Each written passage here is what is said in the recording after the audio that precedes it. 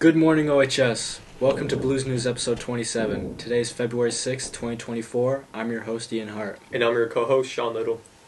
Let's get right into the news. We will be doing a poster competition for homeroom classes. The homeroom who has designed the nicest poster celebrating black excellence will win a Tim's party for their homeroom. Posters must be hung on the walls outside of the classroom. Deadline for submissions is February 16th. There will be a rugby meeting for junior and senior boys rugby teams this Thursday at 12:30 in Mr. Howell's room. All boys interested in playing rugby for the Blues this year should attend. The plan is to have JV and senior boys teams, no experience necessary. Positions fit all types and talents. Hey OHS, one more thing I forgot to add in today's announcement.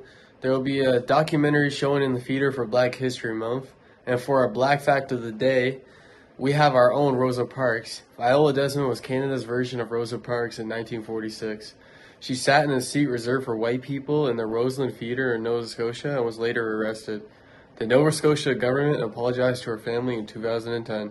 If you guys have any suggestions or ideas for our show, you can email us here or comment on the video. Email will be in the description as well. If you want to be on the ho- a host on the show, we're putting out a Microsoft form to apply to. The link will be in the description. If you applied last semester, you have to apply again with your new period 4 and 5 classes. And that's all for the news, Blues. Have a good day, OHS.